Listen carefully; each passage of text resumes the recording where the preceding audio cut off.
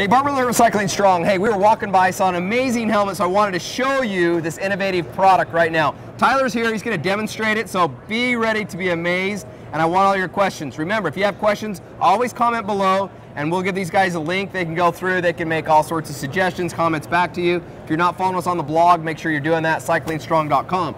Tyler, talk to me, man. Tell me how this thing works. Well, I'm Tyler from North America Cycles, and this is the Plixi helmet from uh, Overade and it's a French company. And basically, you're supposed to be able to break this down in about four seconds and bring it back up again. Okay, slow mo it for us, Tyler. Really All slow right. right here. All right. Show the group how it works. Basically, you just pull up the sunroof here, drop it in, drop it in, push this in, and down. Okay, so let's talk structure, all that kind of stuff.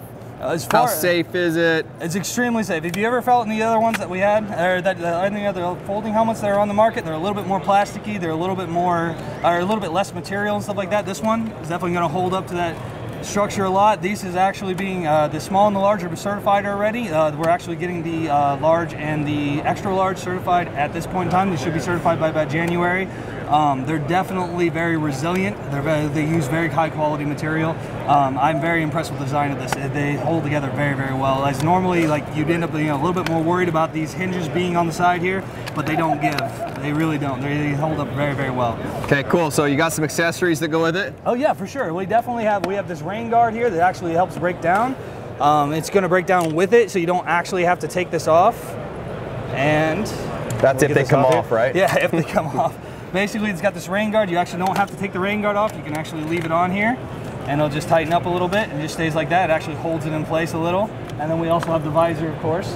And then we're gonna have a few more accessories that are gonna be coming out whenever they get certified. We're actually going to get some neck straps on the back here that's gonna make it fit a little bit better, keep it from falling forward on you.